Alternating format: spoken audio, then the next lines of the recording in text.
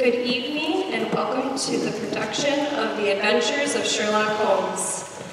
Before we get started, just a couple reminders. Remember to silence your phones and no flash photography, please, or any photography that involves clicking noises.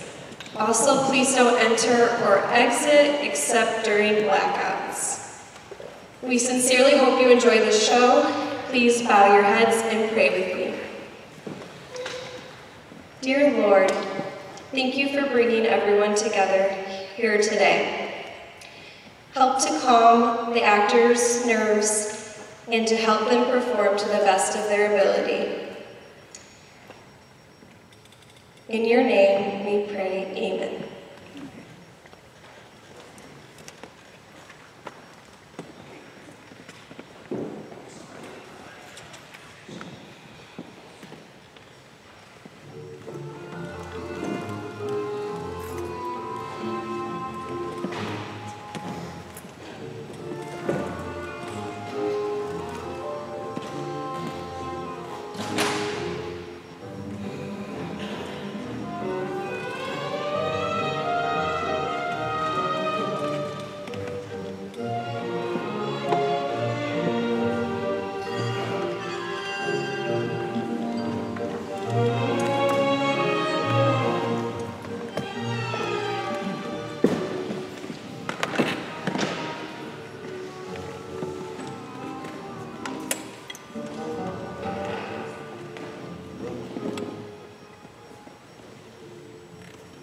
John Watson, Doctor of Medicine here, completed my surgical studies in the year 1878 and was attached to the 5th Northumberland Fusiliers as assistant surgeon. Stationed in India at the time, the Afghan War broke out. The regiment going there, I was struck in the shoulder by two bullets which shattered the bone and grazed the subclavian artery.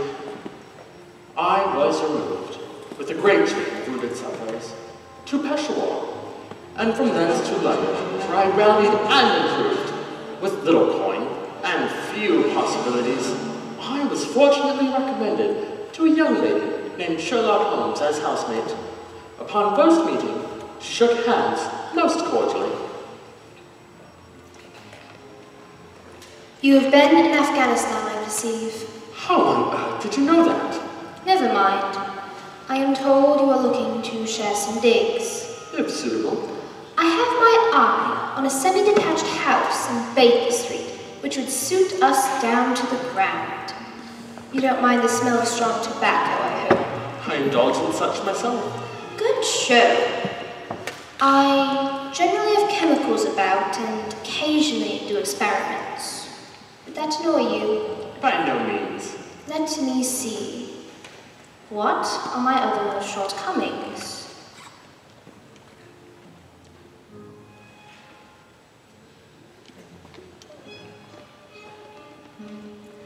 I get in the dumps at times, and sometimes I will not speak for weeks. Just let me alone and I'll be alright. What have you to confess now? I keep a bullpup and object to rows because my nerves are shaken. I'm told I am extremely lazy. Those are my vices at present. Do you include violin playing as a row? It depends on the player. Settled then. And thus it began. Her knowledge was extensive. When I asked her what her business was, she said simply, Crime and criminals. She settled back, lit her pipe, and allowed that no man who lives or has lived has brought the same amount of study to crime that she has done. Both embarrassing and absurd, I thought, but as time has validated, Miss Sherlock Holmes was and is quite correct. My life's work is to leave to future generations an account of her extraordinary adventures and remarkable insights. I need say no more. I called in upon my good friend Sherlock Holmes the second day after Christmas with the intentions of wishing her the compliments of the season. She was lounging in her chair examining a disreputable hard felt hat she held in forceps. You are engaged, Holmes. Perhaps I interrupt you? Not at all, Watson. I'm glad to have a friend with whom I can discuss my results. The matter is a perfectly trivial one, but there are points of connection with it that are not entirely devoid of interest and even of instruction. I suppose this thing has some deadly story linked onto it, and that it is the clue that will solve some mystery and provide punishment of some crime. No, no, no crime. Only one of those whimsical little incidents which happen when you have four million human beings all jostling each other within the space of a few square miles. Many a little problem will present itself, which may be striking and bizarre without being criminal. I will admit that three of our last six cases have been entirely free of any legal crime. Precisely. I have no doubt that this small matter will fall into the same innocent category. You know Peterson, the commissioner? Yes, would this be her hat? No, no. She found it. Its owner is unknown. It arrived upon Christmas morning in company with a good, fat goose, which is, I have no doubt, roasting at this moment in front of Peterson's fire. The facts are these. About four o'clock on Christmas morning, Peterson, who, as you know, is a very honest lady, was returning from some small jollification and making her way homeward. In front of her, she saw in the gaslight a tallish man with a white goose slung over his shoulder. As she reached the corner of Goodge Street, a row broke out between the stranger and Scruffs. One of them knocked off the man's hat, and he raised his stick to defend himself, smashing the shop window behind him. Outnumbered, he dropped his goose, took to his heels, and vanished into a labyrinth of small streets. Peterson returned with this tat-a-tat, the most unimpeachable Christmas goose. Which she surely restored to its rightful owner. My dear fellow, there lies the problem. It is true that for Mrs. Henry Baker was printed upon a small card and tied to the bird's leg. But there are thousands of bakers and hundreds of Henry Bakers in this city of ours. What then did Peterson do? She brought round both hat and goose to me on Christmas morning, knowing even the smallest problem is of interest to me. The goose we retain until this morning, where there are signs it should be eaten immediately. Its finder took off to fulfill the destiny of said goose, while I retain the hat of the unknown gentleman who lost his Christmas dinner. Did he not advertise? No, Then what clue could you have as to his identity? only as much as we can deduce. From his hat? Precisely? But what can you gather from his battered old hat? You know my methods. Employ them.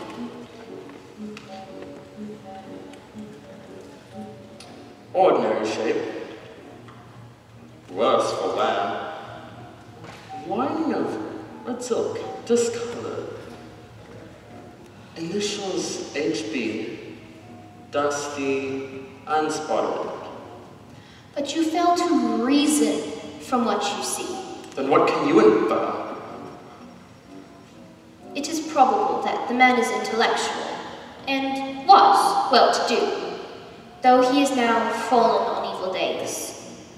There is some evil influence, probably drink, at work upon him. This may account for the obvious fact that his wife has ceased to love him. Astounding. Leads a sedentary life, goes out little, is middle-aged, grizzled hair cut within the last few days. Also, it is extremely improbable he has gas laid in on his house. Now you are joking. Not in the least. How do you deduce the man's intellectual? It is a question of cubic capacity. A man with so large a brain must have something in it. His decline of fortunes? If the man could afford so expensive a hat three years ago, note the style, and has had no hat since then, he has assuredly gone down in the world. Ah, yes. Clear enough. The grizzled hair, recently cut. A magnifying lens discloses her ends clean cut by the barber. But his wife, you said she had ceased to love him? If your wife, Watson, allows you to go out in such a disreputable hat, you have been unfortunate enough to lose her affection. Granted, granted, but come now, the gas not laid on in this house. At least five kind of tallow stains. You do not get tallow stains from a gas jet. Are you satisfied? Very ingenious, Holmes. But as you say, no crime has been committed, and no harm done save the loss of a goose. All this seems rather a waste of energy. The goose, Mrs. Holmes, the goose, ma'am. Mrs. Peterson, what of the goose, ma'am? See, my husband has found in its crop. Crop, ma'am? A pouch near its throat, look here. Hmm. By Jove, Peterson, this is a treasure trove indeed. Do you know what you have got? A diamond, man, a precious stone. It cuts into glass as if it were putty. It's more than a precious stone. It is the precious stone. Not the Countess of Morcar's blue carbuncle. Precisely so. It is absolutely unique. There is a reward of a thousand pounds, not one twentieth of its market price. Great heavens! Apparently it also has sentimental value, and the Countess might part with half her fortune if she could but recover the gem. I believe it was lost at the Hotel Cosmopolitan, if I remember right. Exactly. On December 22nd, John Horner, plumber, was accused of abstracting it from the lady's jewel case. The evidence is seen as overwhelming. So much for the police court. The question for us now to solve is the sequence of events leading from the jewel case to the crop of a goose in Tottenham Court Road. You see, Watson, our little deductions have suddenly assumed a much more important and less innocent aspect. The stone came from Mr. Henry Baker, the man with the bad hat. We must find Mr. Baker and ascertain what part he's played in our little mystery. Simplest means first, we advertise. Should that fail, I shall have to recourse to other methods. Corner of Goodge Street, a goose and a black felt hat. Mr. Henry Baker can have same by applying at 6.30 this evening at 221B Baker Street. Clear and concise, But will he see it? everyone who knows will direct his attention to it. You are Peterson, run this down to the evening papers. And the stone? Ah, yes, I shall keep the stone, thank you. And I say, Peterson, just buy a goose on your way back and leave it here with me. You must have one to give the place of the one your family is now devouring.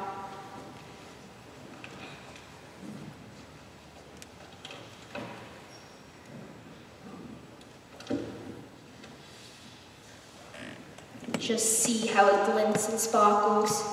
Of course, it is a nucleus and focus of crime. Every good stone is. Every facet may stand for a bloody deed. It was found on the banks of the Amoy River, southern China, 20 years ago. In spite of its youth, it already has a sinister history. Suicide and several robberies. All for this 40 gram weight of crystallized charcoal. Greed creates its own objects. I'll lock it up in my strong box and drop a line to the Countess to let her know we have it. Do you think the man is innocent, Holmes? I'm not sure, Watson. And what about Mr. Henry Baker? I think, Watson, that Mr. Henry Baker had no idea that the bird he was carrying was of considerably more value than had it been made of solid gold. Goodbye, Watson. I must continue my professional round. I'll be back at the time mentioned to untangle the tangle.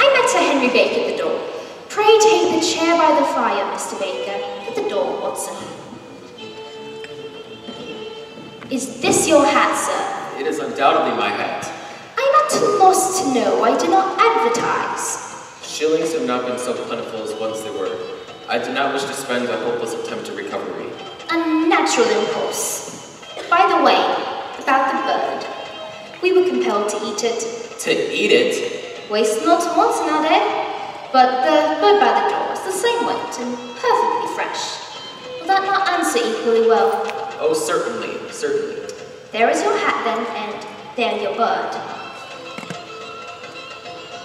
By the way, would it bore you to tell me where you got the other one from? I am somewhat of a fowl fancier, and it was an exemplary specimen. Most certainly. There are a few of us who frequent the Alpha Inn Union Museum. Our host, Wingate, by name, instituted a goose club, and we give a few pence each week to receive a bird at Christmas. Very interesting. I believe our knowledge is complete. Goodbye, Mr. Baker.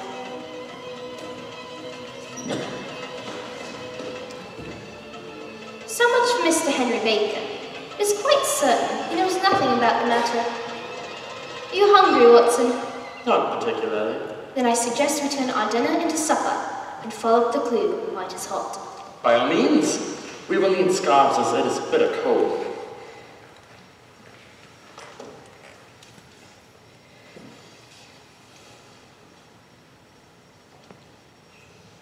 You always take forever. How hard is it to put on a coat? Ready?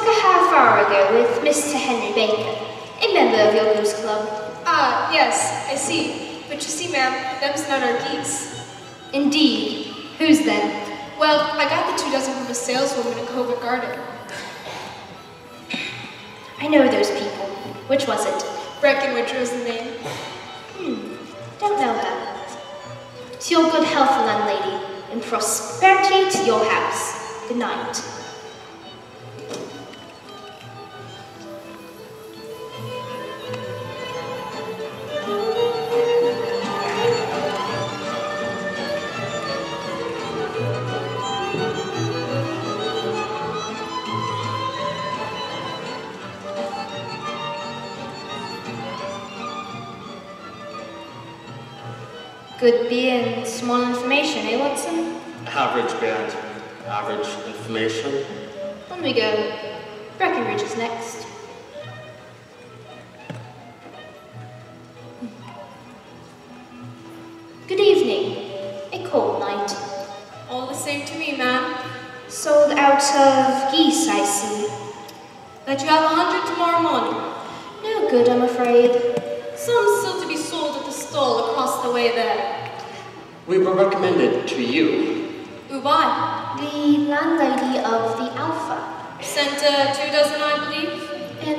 Birds they were. Now, where did you get them from? Hello? Hello? What be you driving at, eh? Let's have it straight and move on. The two of you. See here, lady, I should like to know who sold you the birds which you sold to the Alpha. Would you not? Well, I shan't tell you. How's that? It will not serve, ma'am. Why should you get to pick up your petticoat over such a trifle? Because I'm pestered beyond good humor. There's a thing to be sold and a money to be paid, and that should be the end of the business. But oh no, it's where are the geese and who'd you sell to and what's the price paid? One would think they were the only geese in the world to hear the fuss that is made over them. Get hold of yourself, woman. I've a fiver on it that the bird I eat is country bred. Well, you've lost your fiver for its town bred. And I assure you, it's nothing of the kind. And I say it is. Poppycock, Do you think you know more fowls than I, who have handled them since I've climbed from my cradle?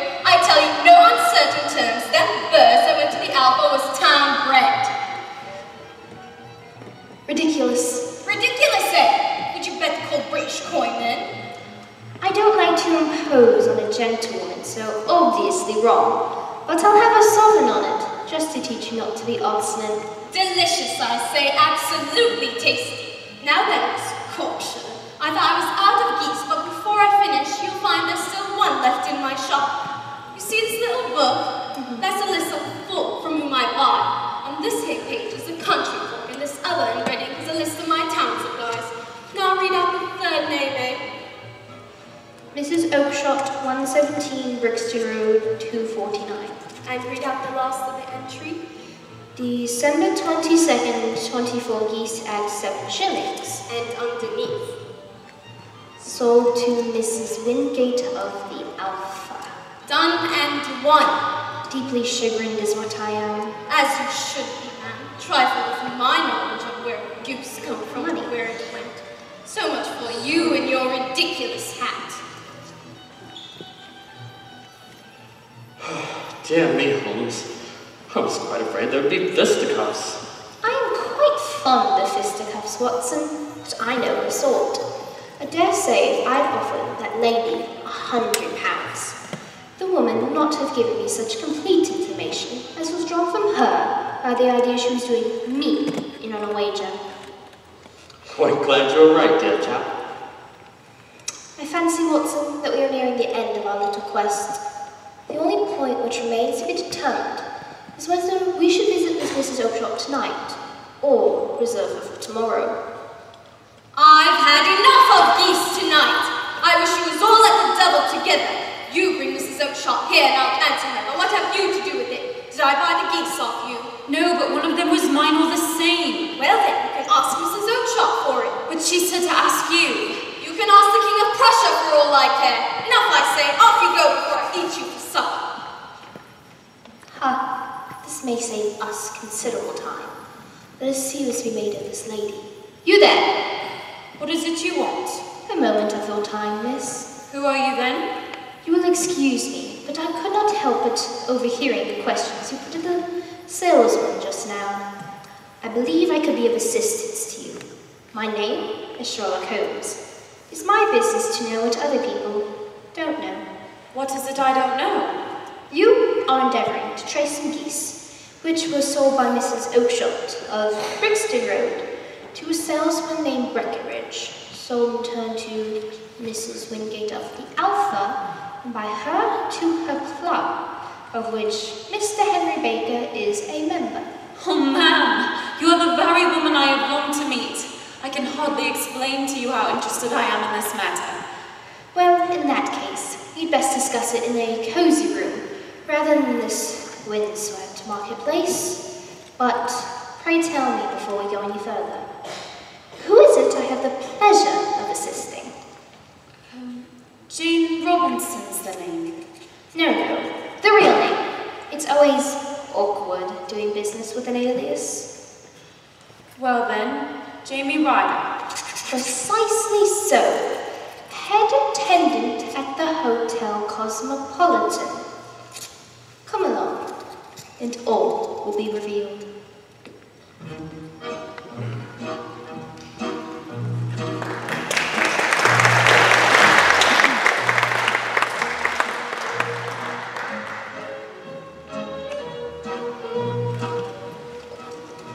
Here we are.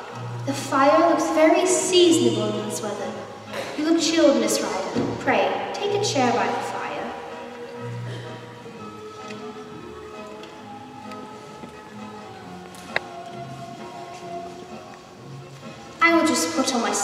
before we settle this little matter of yours.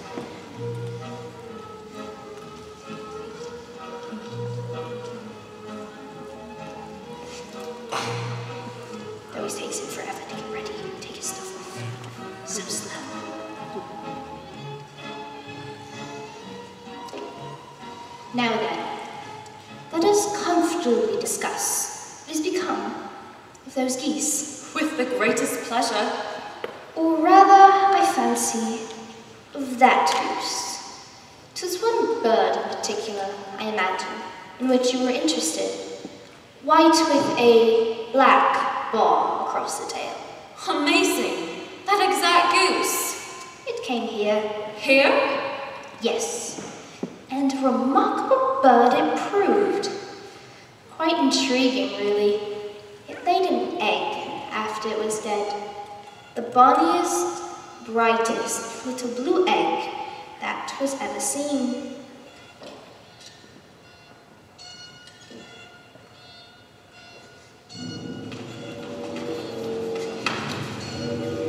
The game's up, Ryder.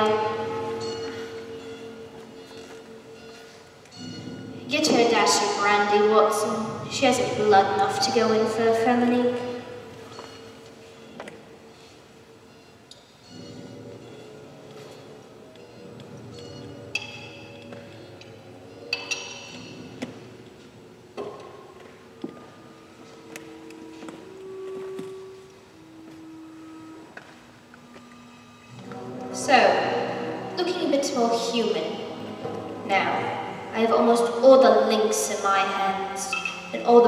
Proofs I could possibly need.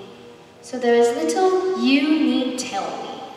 However, you had heard, Ryder, of this blue stone, of the Countess of Morcar's? It was Catherine Cusack who told me of it. I see. Her ladyship's waiting maid. Well, the temptation of sudden wealth was too much for you, as it has been for better people before you. But you were not very scrupulous in the means you used. Pretty villain though you are. You knew that this man, Horner the plumber, had been concerned in some nasty matter before, and that suspicion would rest the more readily upon him. What did you do then? You made some small job in my lady's room. You and your confederate Cusack arranged that he should be the man called for. Then rifled the jewel case, raised the alarm, and had this unfortunate man arrested. You then, For God's sake, have mercy. Think of my father and my mother. It would break their hearts. I've never gone wrong before. I never will again. I swear it. I swear it on the Bible. Don't take me to the courts. I'm begging you. get back into your chair. It's all very well to cringe and crawl now. I will fly, Miss Holmes. I will leave the country ma'am. Then the charge against him will break down. Hum. We will talk about that. Now, let us hear a true account of the next act. How came the stone into the goose? How came the goose into the open market? Tell us the truth, for there lies your only hope of safety. I will tell you just as it happened, ma'am.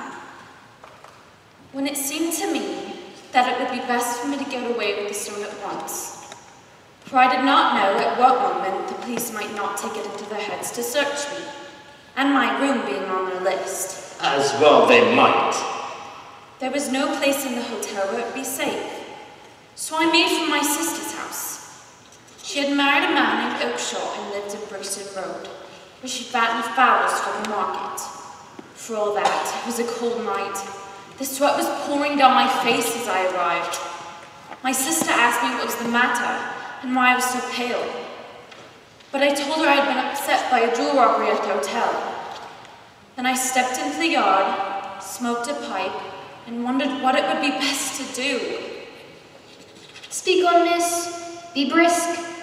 I had a friend once called Mugsley, who went to the bad and was serving his time in Pentonville prison. One day, we had fallen into a talk about the ways of thieves and how they could get rid of what they stole. I had a bit on him from the past, so I knew he wouldn't turn to the police. He told me how the stone could be turned to money. I worried, though, that on my way to him I would be stopped and searched. As I stood in my sister's yard, I noticed the geese waddling about my feet. Then suddenly an idea came into my head. How I could beat the best detective that ever lived. Could you indeed? My sister had told me some weeks before that I might have the pick of her geese from my Christmas table. I'll take that goose now, I thought, looked about, and caught me a fine big goose. white with a barred tail. Then I pried open its bill and thrust in the stone. The bird gave a gulp, and I felt the stone pass along its gullet and down into its crop.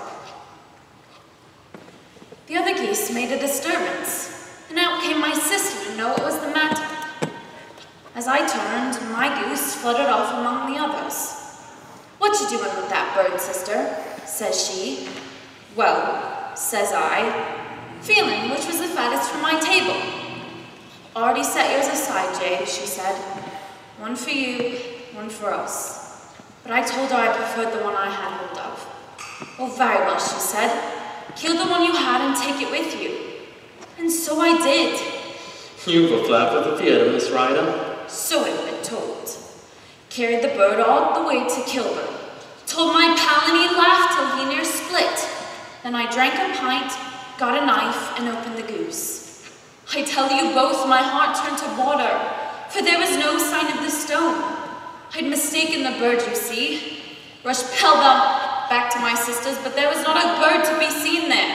Where are they all, Maggie? I cried. Gone to the dealers. Exactly. Which dealers? Breckinridge of Covent Garden. There was two of those geese with the barred tail. Like surprises, eh?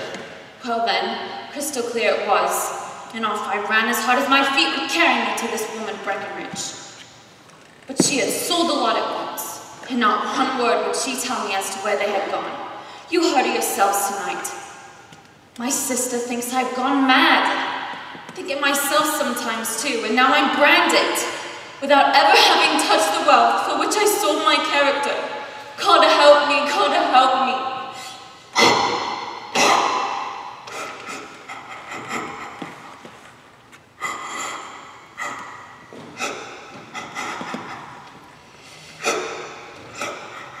Out you go.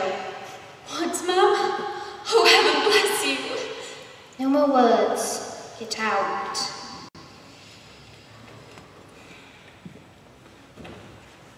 After all, Watson, I am not retained by the police to supply their deficiencies.